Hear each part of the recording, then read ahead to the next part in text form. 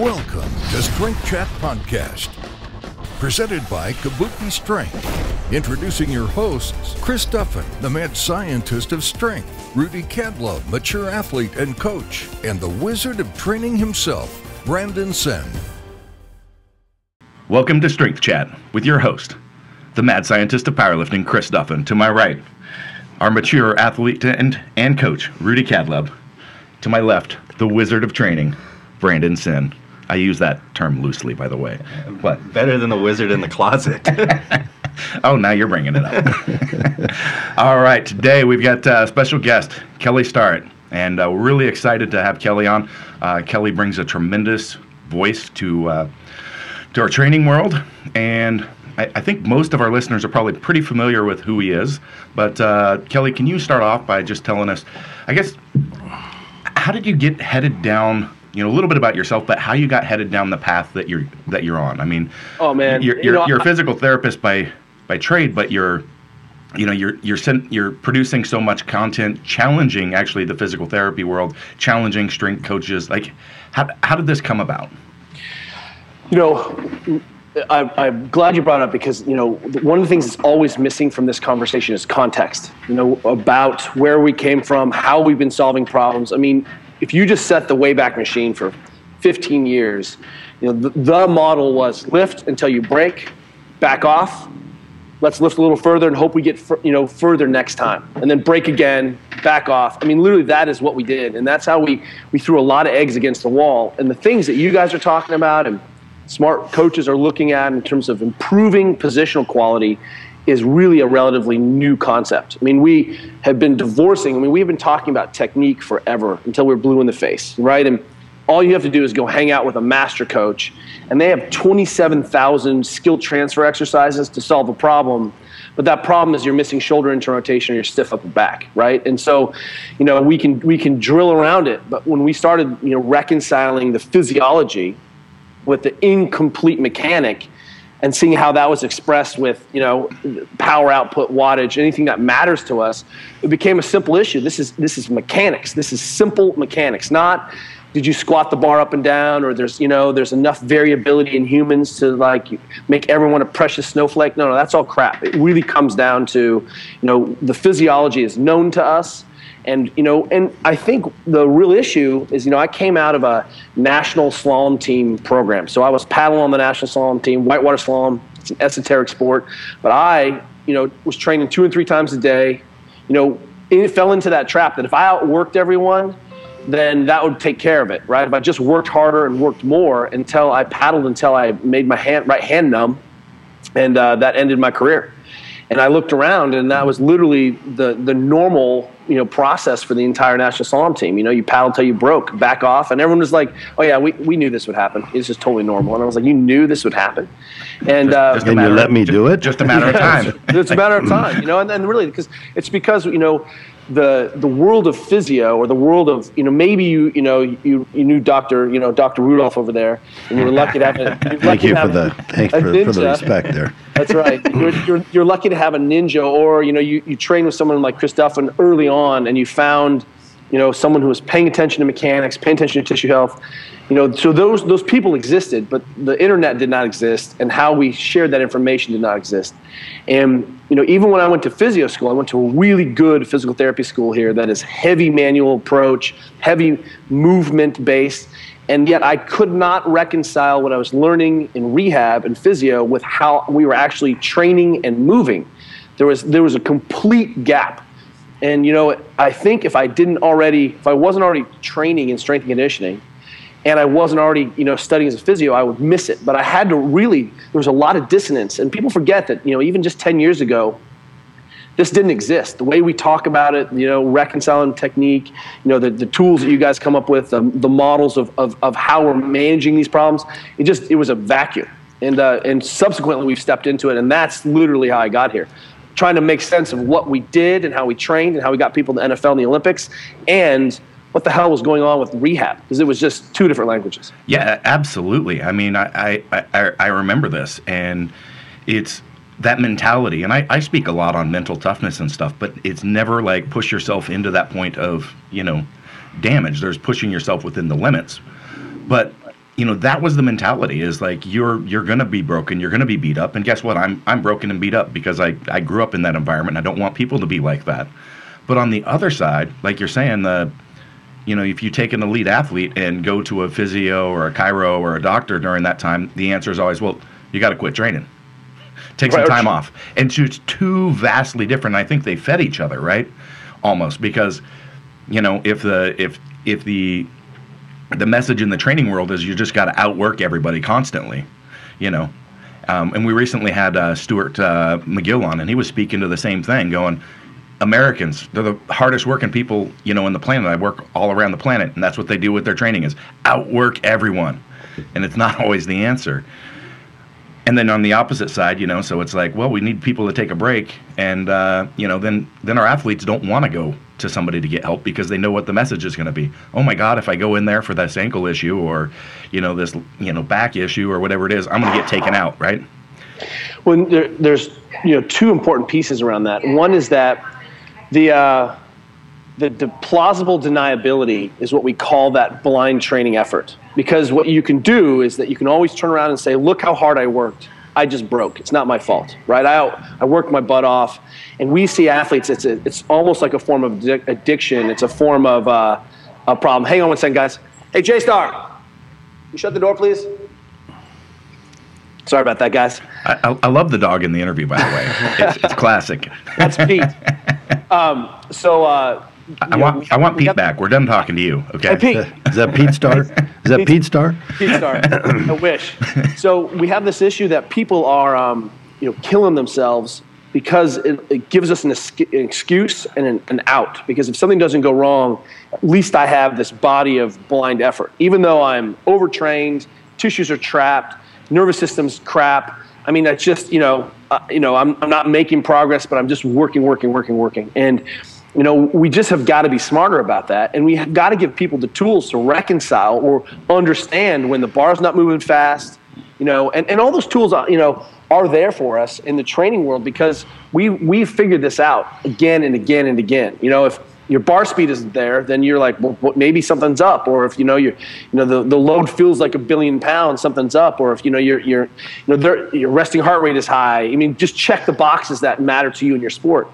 You know, and you know, the other thing is just that you know, the, the, because the world has changed around you know doctors you know physios not feeding it in and you're speaking to the truth is that go into any NFL team, any NBA team, all and, and we're trying to change this, and the smart coaches are, the players are very distrustful of the system. And this is not anecdote. This is, you know, this empirical evidence that athletes will not ask for problems. They will not ask for help early they won't even tell their strength coach, who's the most trusted person in the building, about the problems because it goes on some report. It goes on, you know, and then and and God forbid you go down some hallway and you don't you leave the team, you leave the training environment, and now you're in some you know parallel universe where they speak Esperanto, and they're like, and you're like, what is this? I don't even. This doesn't even doesn't even speak to me, and my whole athletic experience suddenly is is radically changed and in a different language. This is, I mean, we've got to reconcile it. And I'll be frank, if you're a physical therapist or provider,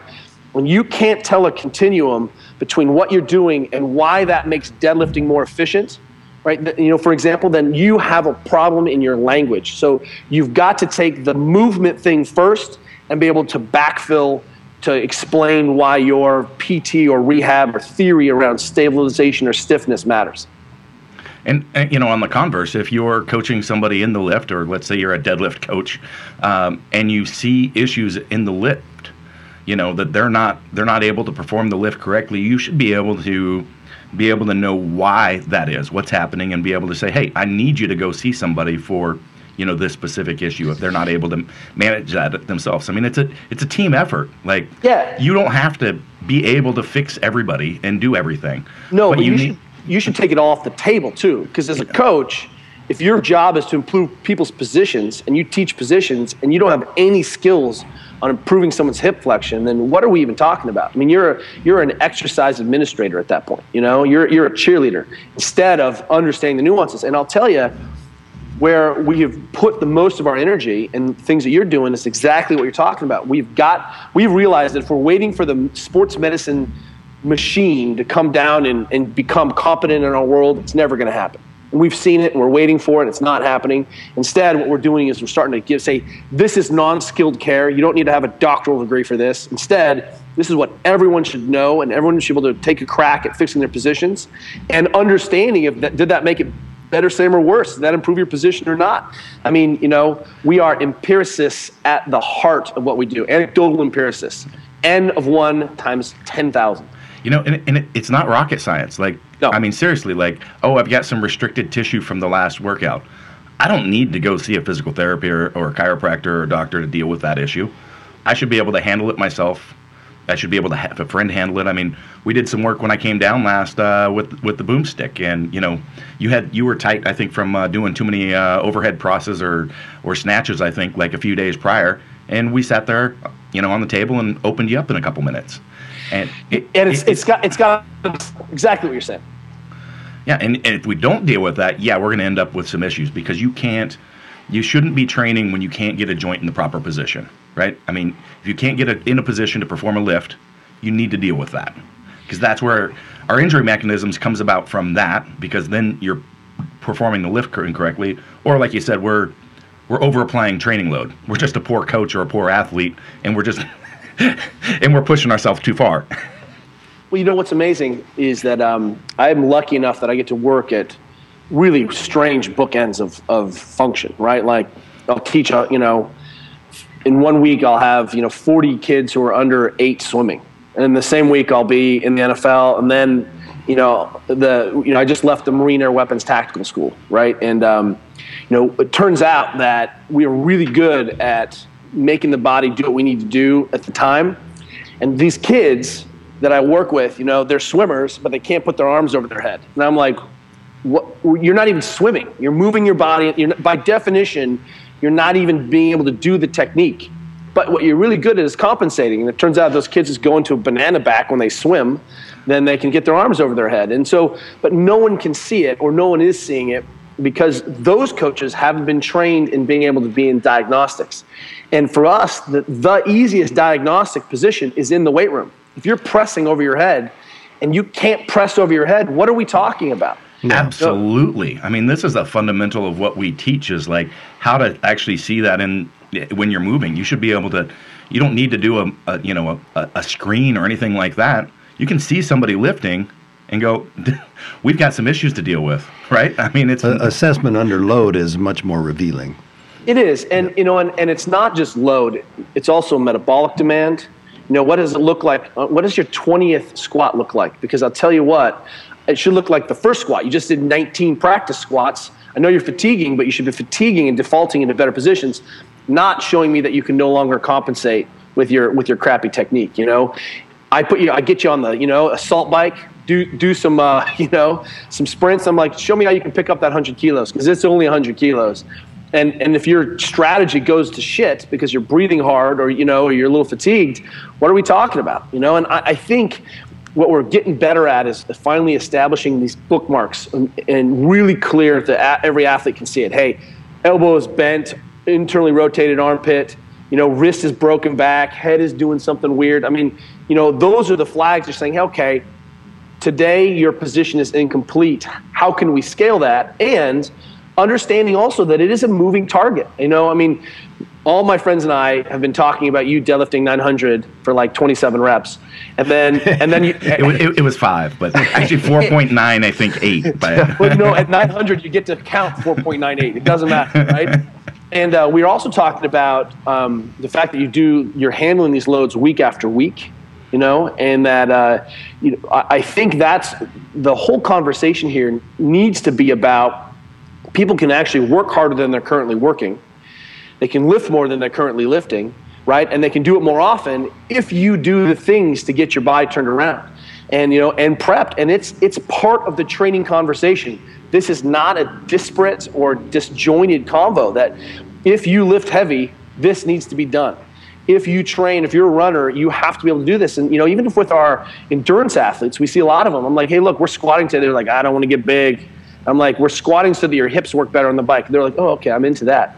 You know, that these positions are how we reclaim function when we've become specialized. And you know, because we are the way we're training maybe doesn't reflect our natural loading, right? We become, you know, even if you have a good movement practice, we're, the way we're hitting it and how often and how hard, you know, it means that it just takes a little bit more love to get your body turned around. And that's part of that training conversation, one. And two is just, is this notion that, you know, we have to, um, you know, come to understand that this is a moving target. That if you deadlift really heavy, you know, you may look incomplete the next time you step in the gym because you're incomplete because you didn't do the right things or you had a job. And, and so we've got to have the, the, the positional competency mechanism right the diagnostic tightly conjoined with the training system so that we can we can diagnose those things on the spot. And that is called consilience and that is the unification of knowledge and that's what we're after. Yeah and i have uh, i have like these uh, standard, you know, warm up procedures for dead, deadlifts and squats and things that I've done. I think I did one with Mark uh, Bell. Tons of people always tell me, "Oh, I tried that," and I'm like, they're like, "Do you do that every time?" I'm like, "No, it actually varies every workout based on what the needs are. Like, here's, you know, I got to pull different things from my bag of tricks, but there's absolutely no way I'd be able to. I mean, Brandon, how long's it been? I've been pulling close to at or above 900 yeah, twice a week yeah, for yeah. months now. Like three it, months. There's no way I'd be able to do that. And uh, I got a I got a funny story to tell though, because at home, you know, I've, I've, got a couple kids, and they're always leaving stuff all over the house, on the floor. Wife's always trying to help me get uh, get me to pick it up. I'm like, I can't, I can't reach down there. I'm too big. I'm too immobile. I'm too slow. Too lazy. And, and uh, so, so I come home the other day, and she's like, "Yeah, I was watching this interesting video of you on Instagram doing these really fast get-ups off the floor and smoothly getting back down on the floor repeatedly over and over, and everybody's commenting." How you move so well? like about those toys on the floor. you don't you don't understand, hon. I don't want to destroy my fitness. I, you know, technically, I should be having this conversation laying down. Like, you could be doing your deadlift prep right now. like, damn it. This, uh, I had this uh, this physical therapy. I was doing an inpatient uh, rotation, a cardiac rehab rotation, and um, this woman was an endurance athlete, but the, the the building had like 13 stories, and she was infamous for just dropping students and crushing them, like because she just took the stairs every day. And like it's day two, and I'm like I'm carrying the walker, and I'm like, oh man, these stairs. And she's like, ha, you know, gotcha. She's like, you know, you can take the elevator. I was like, no, no, you don't understand. They're gonna really make me weak. Like, my squatting is gonna suck this week. I don't mind. You just gotta understand that I'm paying a price for this. And she's like, She's like, you're saying that these stairs are destroying your fitness? I was like, precisely. That's precisely what they're doing. And hon, exactly. My job is to deadlift heavy weights, and if you mean if you want me to pick that up, I will. But I mean, we're going to make less money. I think you just need to. that, that, that's that's that's a great argument. I, I think I've reverted to that several times actually. love it. I love it. You know, in this uh, this world of high tech. Uh, we're exposed to so much media. You mentioned earlier everyone's looking for the secret uh, exercise but also I see people just waiting for the secret pill. You know, can I just take a pill and it's going to make me stronger? It's going to make me more supple. I can do this or that. How, how do we counteract that in such a world of bogus representations and and false claims from people just trying to get rich quick? I think you really put your hand on uh, on an important topic there, and that is, you know, if the fitness world is a crowded and shitty space right now. It is really, I mean, there's there's so many knockoff people. Uh, there was this there's this ground movement company that now is just marketing towards you know better better mobility, which is the worst word ever of all time. Towards uh, you know towards CrossFitters, and the the guy is like front. He's like in the bottom of position of a front squat, you know, but he's asked to grasp, but his positions suck his front rack sucks. His knees suck. He obviously has never done it.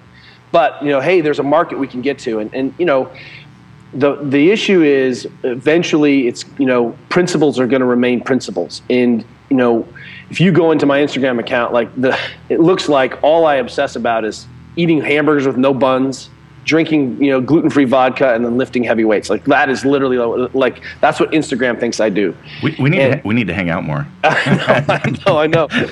and um, you know maybe i maybe my instagram throws stuff too because of matt vincent. But um, the idea here is um, you know, people have forgotten that there is it is principles and it is time under tension. It is decades and decades and decades in the making. And you know, I think places like CrossFit have been amazing because they have put strength and conditioning in like real strength and conditioning into the hands of mortal people like us, right? I mean, you know, you maybe you came out of a powerlifting gym lucky as a kid, but maybe you were an Olympic lifting coach, but otherwise now, I mean, my mom has Olympic lifting shoes. I mean, something's up, right? And um, but I, I think the problem is that there's also some notion that if you train really hard, it's this egalitarian, democratized system that like you too can be elite. And everyone's looking for the shortcut to that instead of saying, you know, how are you going to, did you squat heavy once a week for the last 10 years? I mean, how, how long have you been pulling, Chris? Uh, I've been lifting for about 25 years. and 25 years. Yeah. You know, I, I, um I went for a long paddle yesterday. I'm a uh, I was a professional paddler. I still paddle. I still race. But this is my 31st year of paddling. 31 years. And sometimes I go out and paddle. People are like, "Wow, you're a good paddler." I'm like, "Yeah, I started when I was 12, and I used to paddle 300 days a year, and this is what I do. Like this is the thing." And there's no shortcut to that. And unfortunately, it's difficult for us to see shredded abs and 900 pound deadlifts and be like, "What's the what's the secret to that?" And the secret to that is, did you eat six to eight fists of vegetables today? You know, I mean, did you sleep eight hours? You know, and we see these mistakes eight all the hours. time. I, Ten hours. I, that's a nap for me. Yeah, it's gotta be. this, this is probably the most important thing people are going to hear in this podcast. That, like you just said, eight hours of sleep is not enough, right? No, I mean, that's absolutely that, not. I, I, can't function. You can't function, and um, you know, we are working with. Um, I spent a lot of time at ALTIS, which is formerly the World Athletics uh, Center, and um, they put you know uh, like DeGrasse, who was third in the, Olympics this year in the hundred. He's a he's an athlete from from there, and Coach Dan Pfaff and Stuart McMillan. They just created this amazing program there. Um, Jeremy Koenig is uh, is um, a guy that we've had on talk from Athletigen. Talks about genetics and actionable genetics. You know things that we can understand about you and your ability to recover. Like for example, I I see you deadlift 900 a bunch, and I'm like I I couldn't handle that. I, if I deadlifted heavy once every two weeks, like, I mean, peak deadlift we're talking about, I'm cooked. And I know from my genetics that I'm at like 13% re- recovery. Like, I just am not a, like you, I think you're a vampire and a Wolverine all wrapped into one. Like, you just regenerate and, you, and, you're, and you're shiny in the light. No, I've always, my whole life, like, recovered much faster than everybody else. And I put that to use in my tra- knowing that with my, with my training, right? Because that's my, I wasn't always the strongest. I wasn't always the fastest. I wasn't, you know, I was pretty good, but I recovered better than everybody else. Yeah, well, it turns out I don't recover well. Like my genetics, is, I just I have so I, interesting that I've started to dial in all these tools around optimizing, you know, my ability to work hard again. So, turns out that in this group, where these are Olympians, you know, at the highest level in a very very smart program, and their goal is 10 hours of sleep is the baseline. That's the base. If you can get a nap on top of that, everyone's like, yeah, 10 hours, woohoo. When they actually track that, it comes down to that most people are sleeping eight or less. And, you know, and when they actually put the reaction time in front because they test it, right, you have to prove to the athlete that this is detrimental to your central nervous system because athletes are going to go until they break. That's because it's what we do. And, you know, then it, it, the athlete was like, oh my God. But what we're not seeing is you have to take care of first principles, that you have to sleep and you can't be stressed out all the time. And you better you know know how to chill and you better eat right and you better you know warm up and actually cool down. Those things matter too. And if you apply that for decades and decades and decades and you have good genetics you will be excellent. If you don't have good genetics you'll just be pretty good. And that pretty good is a lifetime's work and that's the goal that's the only way we're going to solve this problem, Rudy. Yep. Well, part you know, and what you just said, I had a doctor uh, years ago that told me there are three secrets to a long life, and the, the first one was pick your parents, and you know, genetics is it's hard to ignore, and you know, not everybody is the same for sure, and we we need to be able to recognize that as well. Just because he can do it doesn't mean I can do it necessarily, or should do it. Yeah, right? or should do it. Yeah, and you know, and I, I think that's the that's the piece that we're going to have to get across. And, and unfortunately, by the time you're in your 20s, it's already too late. Like you've either you've either caught the window or missed it. You know what I mean? And there are great athletes in 20s who switch sports, but they're already genius athletes. So when it ends up coming down to, and we, I was just talking to, um, uh, where was I? I was talking to, oh, uh, was, we took our daughters to see uh, college uh, volleyball tournament this weekend, right? My daughters are into volleyball, and we were watching um, Cal, and there was a big tournament going on, and the University of Hawaii coach, uh, he, he, um, sorry, he was Hawaiian. He's from the University of West Virginia, and he used to be the national team coach. And his girls did the best warm up prep I have ever seen in like college sports. One of the best. Bands, monster walks, pull aparts, lunges, rotation, hot, sweaty, like the so smart. Hamstring, some pull downs. The, the girl, like the and it's stuff that he's obviously developed, brought into the program. Then, you know, for the rest of the time, they got a lot of touches. And those girls, he said when I asked him about it, because I was like, "Hey, coach, excuse me, I'm just in the stands," but I'm like, "Who are you, and where'd you come up with this stuff?" Because a lot of it was some of our stuff, right? And and he's like, "Well, this is how we've gotten here." And he's like, "Most girls, you know, they're playing a top 15 team in the nation." And it turns out that that team, he knew was going to kill him. He's like, but those girls won't show up till the midway through the second set. He's like, we can get on the board and start winning early, you know. And so his warm up and the girls, the, this underranked nobody team crushed Santa Clara in the first game, right? Just crushed them. Then Santa Clara started to get you know warm up. The other thing is, he says, we've got to do this because the girls I inherit are all damaged goods, all of them in high school. They're all broken out of high school. They're all overtrained. They have crap mechanics. They've all had shoulder surgeries. It's like I have to do two things. I have to get these girls ready to play, and I have to teach them everything. You know, how to eat, how to sleep, how to prep, how to get sweaty, how to recognize that they're ready, how to get play, right? And I think the, the thing we're going to have to do if we're serious as a community is that we've got to go back into colleges and we've got to empower and support the college coaches. And then we've got to take it a step back and be in high school and start, because all our athletes are coming through those programs and they are survivors by the time they get to college and they're survivors by the time they become pros. And it starts earlier than that. You talk to the high school coaches, they're like, yeah, these kids in middle school, they can't run or squat or do anything. So at some point, we're going to get off our asses and continue to support the, the systems behind us so that we inherit kids who are like, oh yeah, Chris Duffin. Oh yeah, we just call him Uncle Chris around our house. we've been doing we've been doing that stuff for ten years. What else you got for me, Coach? I mean, it's got to be that way. Otherwise, you know, shame on us, and we should expect the fact that uh, you know kids are gonna, you know, roll out and and we're gonna inherit damaged goods all the time, or kids not even near their genetic potential. I have been really, really. Uh happy with the amount of like college uh, strength and conditioning coaches that are starting to follow our work. We re- recently went to the uh, CSCA uh, convention, and uh, yeah, we just it's it's great. But you're, like you're saying, there's there's so many untouched colleges, and there's the high schools. I mean, I've been into a number of high schools or you see kids coming out of them, and it's like, yes, they, you know, I, I don't think their their coaches are empowered with the tools. You know, they don't they don't have the knowledge, they don't have the, you know, in a lot of cases. Well, everyone comes from somewhere, and that was what we were saying about context. Is that, you know, people are products of their system, so, you know, I was just in Yuma, Arizona at the, at the Marine Top Gun School. And what I can tell you is this is the, the, like the third year we've been back there. And to see the changes already, it just takes time, right? We've got to, and, and what we're finding is that the young lieutenants that I've talked to seven years ago are now captains and majors. And they're like, this is the system, and this is what we've been doing. And unfortunately, we may have to have a generation of old, crusty coaches who are the old school. We have to wait for them to retire and the young kids are coming in look differently. And places like Stanford with Shannon Turley there, you know, strength conditioning coach of the year, you know, really focusing on movement quality, still gets really, really strong kids, gets get kids really strong. But, you know, all of his interns are going to go off, all those college kids are going to go off and become coaches. And everyone comes from a system, and eventually the systems are, are normalizing towards more complete practices. And then we just have to turn the dials strength, power, speed, you know, what is it we need to do? You know, do, do my swimmers need to bench press? Yes, they do, but not as much as my football players.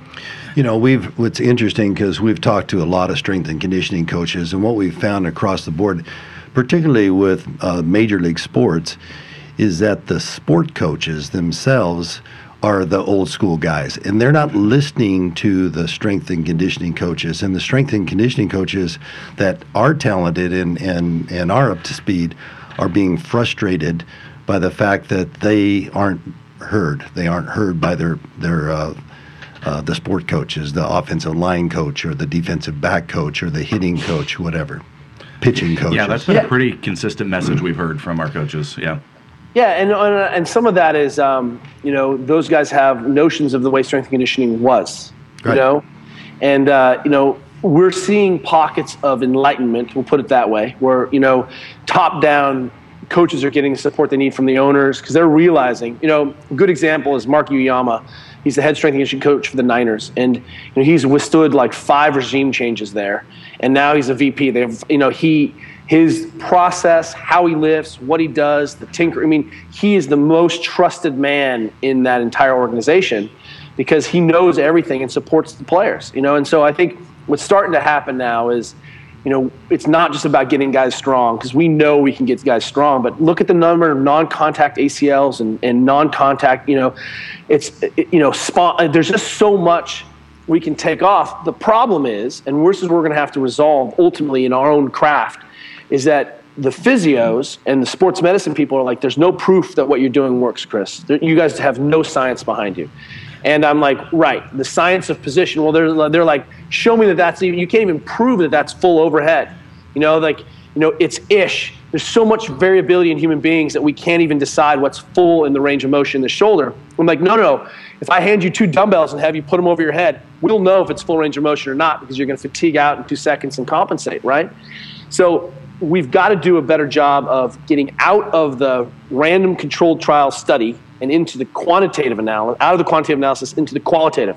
We all live in numbers. The thing, the reason this matters is that we smash wattage records, we smash strength records, our athletes are faster.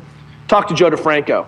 You know, when, when he's trying to, you know, get his guys faster in a, in a 20 or 40, he opens up their hips, you know, and he sees the correlation between improved mechanical efficiency and speed.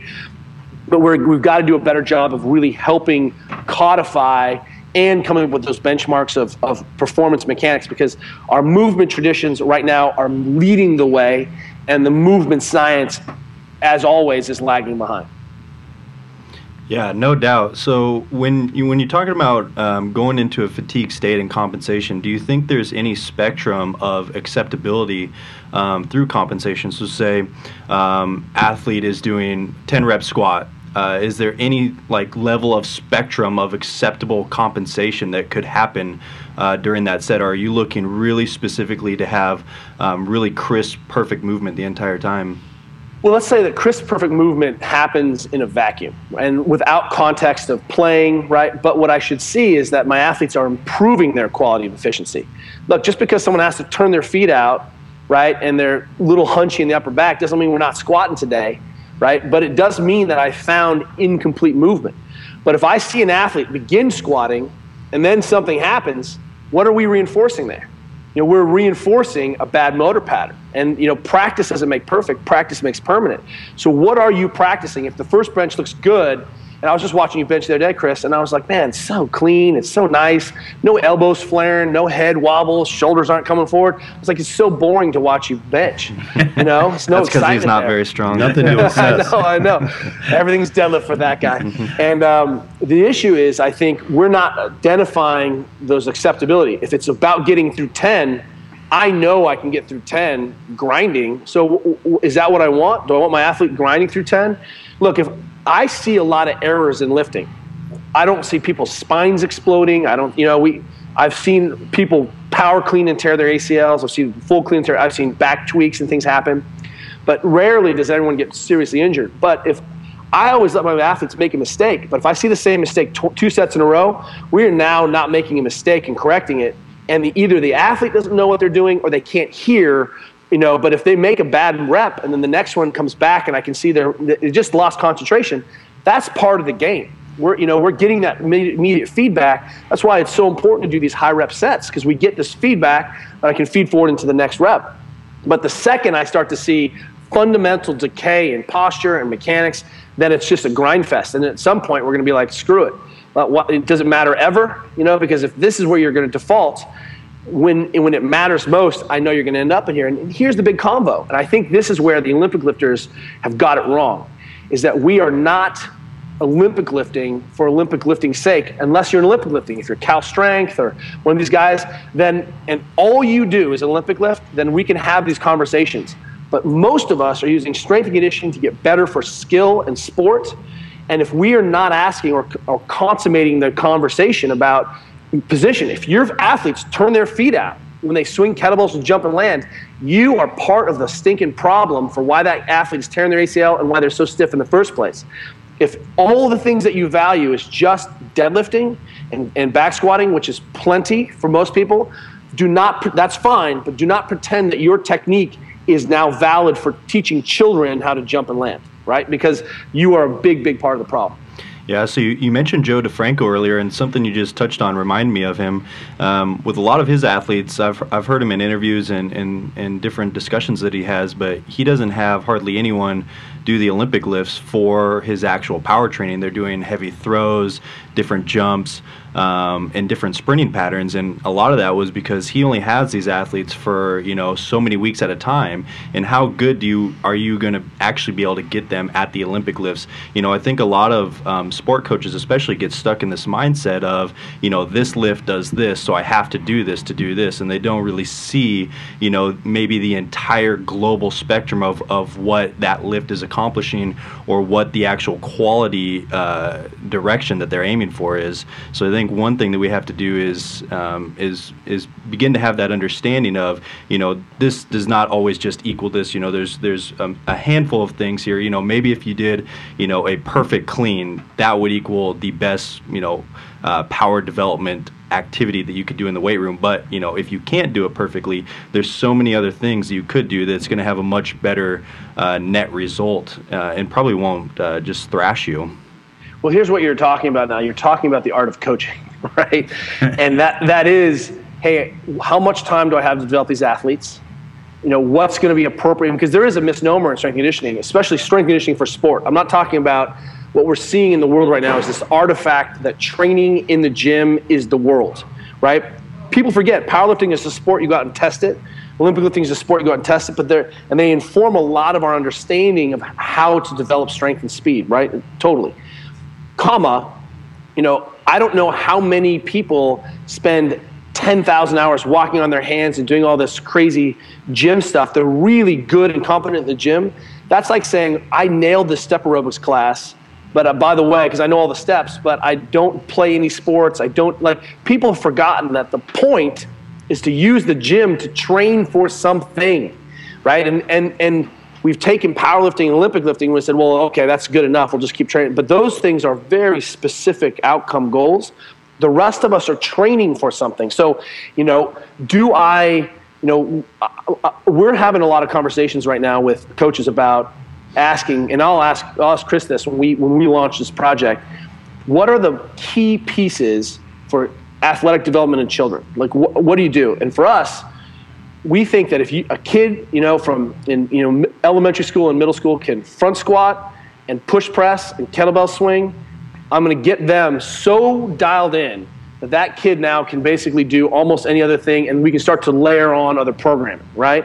But you're absolutely right. I mean if this is your if you're a front squat like this guy then i'm like what the hell are we talking about? You're you know you're going to be a rounded horrible mess in the back. And if you receive every clean then no wonder coaches do everything from the hang or coaches are saying hey we're doing speed pulls right? We're doing high pulls from the ground because what they saw was hey we can take the components out of it and we don't have to fully commit to the sport but if I have a kid who comes through and is already Olympic lifted for 10 years, you know, then maybe that's the appropriate tool. And, and, and to, your, to your point very much, Joe found that he, he had much better bang for the buck for athletic development for the number of contact hours he could even get, right? Because it's, it's this total mistake that you know coaches get billions of hours with their athletes. I mean, talk to you know maybe you get more hours in in college, but you just don't get a lot of hours with your athletes in the professional levels. So how am I going to get some work done and still improve their athleticism? And now now that's a, a conversation of hey, I really like this instead of this, right? Do you think that um, we ever have the conversation? You, you, talked about early childhood development, and this is really big in other countries. You know, maybe um, uh, more towards geared towards the Olympics, and it's you know maybe a government thing. But do you think we ever have the conversation of this is what an early childhood developmental model looks like?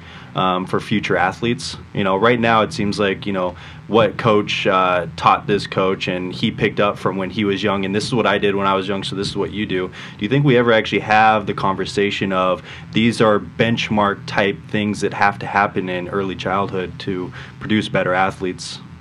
We have to have that conversation, and and some smart people are Jeff and Mikki Martin of Brand X Kids. They have probably the most progressive, you know, strength and conditioning skill development that there is you know, out there right now in terms of their programming. I know a lot of people are, are taking a crack at this, but Brand X kids for really smart athletic development.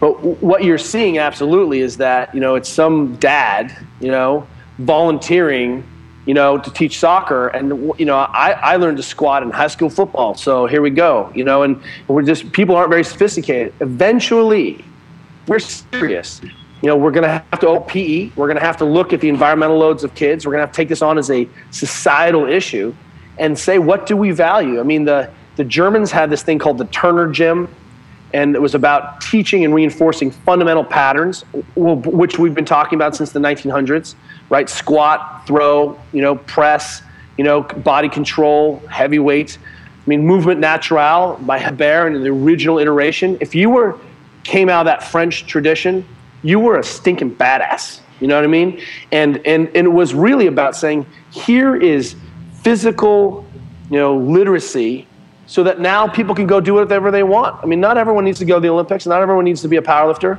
right? Maybe they should, but uh, not everyone needs to. And um, but they should be able to do it and say, "Oh yeah, I learned that until high school, and then I got into running." You know what I mean? Like at some point, we're going to have to put our big boy pants on and have a real conversation. Otherwise, this is all just bullshit. It really is because if we're not taking the lessons that we're learning and keep applying them backwards down the chain so that kids come up differently, then we are. Ju- this is just circus and sport. And when people break, we'll just give their bodies to the lions because they're broken anyway. Well, you know, let's we, just. It's entertainment. Yeah, it was what it's been 25 years since we've taken physical education out of the curriculum in in junior high and high school. It's not. It's not a requirement anymore. And what we've done is we cut, said they've cut it from a lot of elementary school programs. Yep. Yeah, yeah. sad. You know, and, and, there's it's low level. I mean, my wife and I have a we started a thing at our school called the walking school bus. Like one of the reasons I was you know I'm hustling to get here this morning is that we walk a little over a mile from our house and realized that a lot of kids and parents weren't walking. So we just started a walking school bus. Now we have about 50 kids that join us and parents every morning to walk to school because we are not doing the things that human beings are supposed to do right? We're learning about the physiology expressed in the formal language of strength conditioning. I think we have a really good idea of what we're capable of. But now we need to say what are the conditions in which that can thrive and not moving, not teaching you know movement skills is part of this uh, big gaping hole in the environment. We're, we're, we're going to have to change it. You know, you talked about the coach from West Virginia, and you mentioned another thing about how much time do I have with an athlete you know, as a mature athlete myself, and I have to represent and ask the questions for active adults.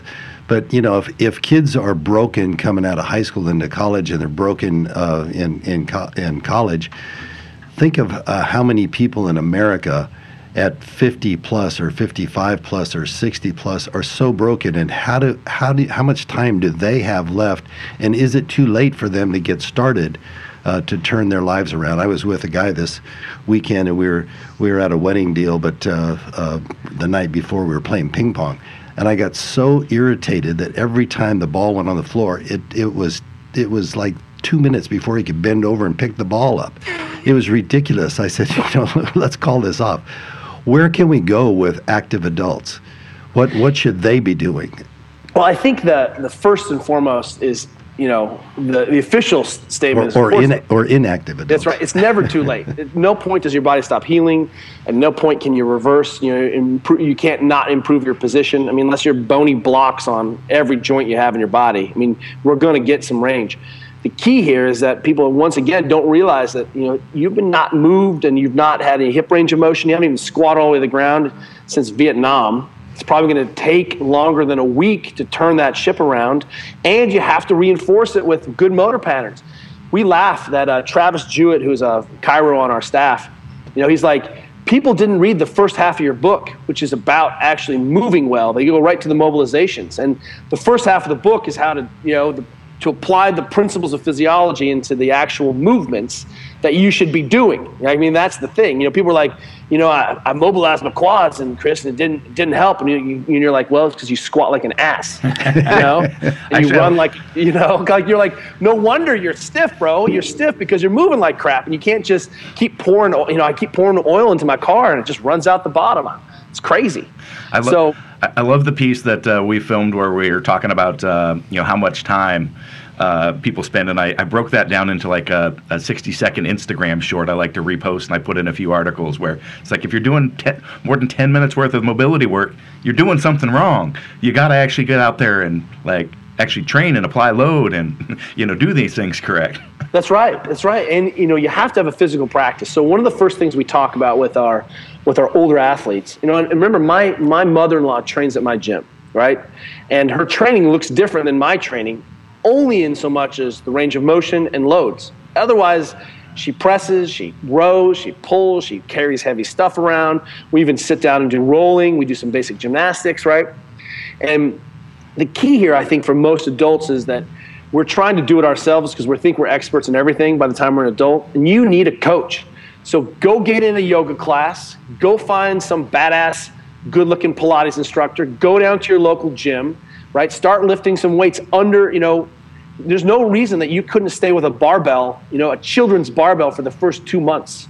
And if you just squatted a, you know, 15 kilo bar for a year, I guarantee you your life is going to change. But you're greedy and egotistical, and you're going to start chasing that 22 year old guy around because you're still 22 in your head. But what we're seeing is that people don't even have a movement practice. You know, there's a good test that uh, a predictor of mortality, and that's can you, you know, get up off the ground without using your hands. And the more points of contact you have to use to get up off the ground, the more likely it is that you're going to die early. Well, isn't that just stupid range of motion? I mean, you can't sit on the ground. I, I went to a, a, there's a big sports club called the Olympic Club here. It's a it's cool, very very shishi really good athletes there. They do a lot of they to, to support sports like rugby, and they're just great folks. And I did a I did a, like a two hour talk there, and I made every, I had like 200 people sitting on the ground, and just to watch the diagnostics of 200 people sitting on the ground, I was like, what are we talking about? I mean, you you people can't even sit on the ground. You know, they're everyone's uncomfortable and they you know rounded and their hips are up and their knees, and I was like, I mean, you're supposed to sit on the ground. You're supposed to be able to get up and off the ground all the time. The number one people reason people end up in nursing homes, wait for it, they can't get up off the ground.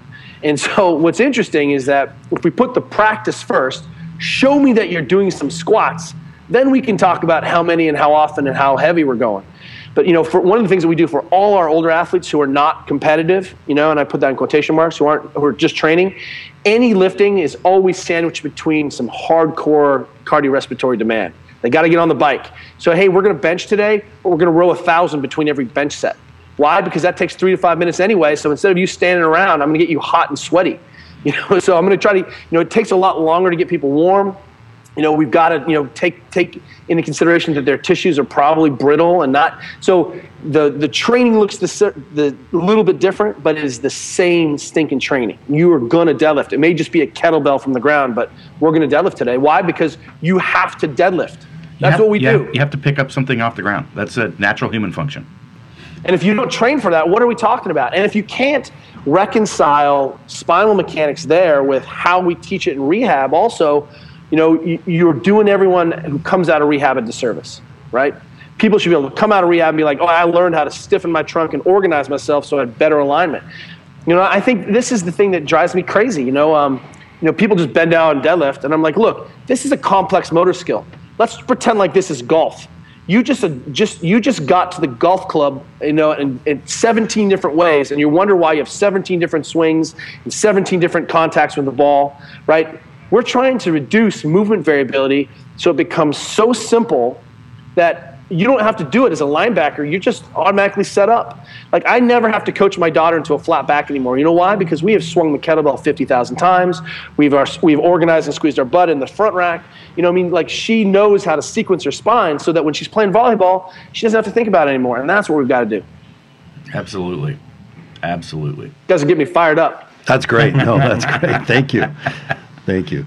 Well, we're uh, we're heading up uh, close to our our uh, time here, but Kelly, uh, thank you for the great insight. I mean, there's so much we could obviously talk to you for four, five, ten hours, whatever, and would love to have you come back again. Uh, you know, not not too distant future to continue our conversation. Uh, it would be my pleasure, and really, you know, we point so many people what you guys are doing, especially since you know, I never ever want to get into the language of skill transfer exercises and you know, like that's that's gym craft. Like I can help really solve this, you know, this positional competency piece, but gym craft, I mean, you, what you guys are doing is you're giving people such good resources and tools, and I never have to explain away anything that you do. And I think that's what we want people to understand that uh, you know that when you see people talking, you shouldn't have to be like, well, that doesn't make sense or that doesn't jive. And if there is dissonance there, then you, someone should need to explain their rationale, not you know. Yep, Otherwise, I- it's the same same conversation. Yeah, I absolutely love the uh, the MobilityWOD site, and I think what you're doing is so complementary. And we're not, you know, with uh, our Kabuki.ms program, like it's like, you know, here's how we resolve issues, and then we've got this is how we move, this is how we train, and this is how we actually gain visibility of the issues that you're having. Um, so I just uh, I love the work that you're doing, and uh, you know, I think it's it's just a fantastic complement to what uh, what we're doing as well. I appreciate that, and you guys have a shoulder rock on the table there. We do. and um, and I want to Those point out those, people, swi- those swimmers you talked about, that's Oh. you know, I think it's like two to four thousand years old. The the Indian clubs, Yep. you know, Right. Yep. and uh, teaching people to store energy, teaching people to control these corners. If you swing that thing around, your elbows will never bark at you ever again, right? Because you have to do these things called be a human being. You can spend you know two hours climbing trees, or you can spend ten minutes throwing that thing around. And I guarantee you, it's going to hold, bring all your problems. My number one favorite train tool I have is an Onnit mace. And I swing that mace a couple times a week because, it, A, it's athletic. I'm applying strength to something and it hits all of these strange corners and teaches me to be stable in all these shapes. It's just that thing rules. Well, I'm gonna I'm gonna get you down one of these because uh, the lever on this is designed a bit uh, more ergonomically. It's designed on the classical length uh, where it's supposed to be. So I think you'll really like it. So we'll uh, we'll get one down for you to play with. Appreciate it. And also, I just want to say that um, you know we've been smashing with barbells for a long time, but the pain pill and the boomstick. If people are listening to this, I'm such a fan, and like everyone at our gym loves those things. I mean, they absolutely love them, and for be able to take on some of those gristly tissues, and uh, it, it is so so simple and elegant, and it's a beautiful like when we all die those things will remain, and they'll be like, "This was an enlightened culture." Look what I had, you know? It's a work of art. I appreciate that. Actually, sometimes I get tempted. I'm like, I should just post these these these texts that Kelly sends me. He's like, everybody at the gym's fighting over the pain pill. We love it so much. Post and I'm that, like, post that thing for sure. So good. So, So- keep keep keep developing tools because that's that's what people need. They, you know, the the mistake is that, and I think this is where the the arrogance in my field really just you know it gets my hackles up. Is that people know what works and what doesn't work.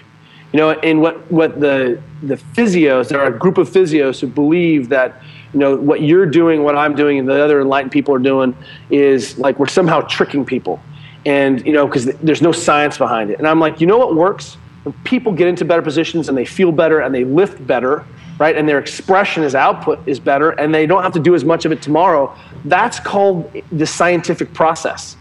And pe- what they're saying basically is that people aren't smart enough to know what works and what doesn't work. Because ask any athlete who's ever been given a program who abandons it, right? And you're like, why do you do that? And they're like, uh, because it's wasting my time, you know? And every athlete who does something that makes works, they see it work, they do it obsessively. And I think that's the key. If we keep putting tools out that empower people to make decisions for themselves, you know, we'll get there. Yeah. Well, thank you so much for uh, chatting with us today, Kelly. You've got a few books out, desk bound, ready to run, and obviously the um, the ever popular Supple Leopard. Um, where can uh, people learn more about you and, and, and find out what you're up to? Well, we are at, at MobilityWOD And again, if I could change that name, mobility again, it's been, it's been co-opted like extreme or we're you know, but we're workout of the day. You know, we're reminding people that uh, in our in our in our titles that this is a daily practice. Improving your positional competency is a daily practice, and um, you know we're all around there. I do want to uh, do a special shout out to um, our nonprofit. It's called Stand Up Kids. And, uh, you know, to date, our daughters are the first all standing moving school in the world. They're, got rid of the sitting desks and have created these movement rich environments for kids. We have about 37,000 kids standing now as a function of this program.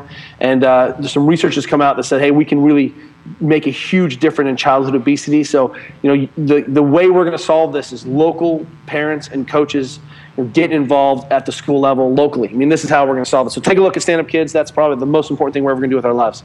Yeah, that's amazing. Thank you very much, Kelly. Thanks, And, uh, guys. We really look forward to talking with you again. Pleasure.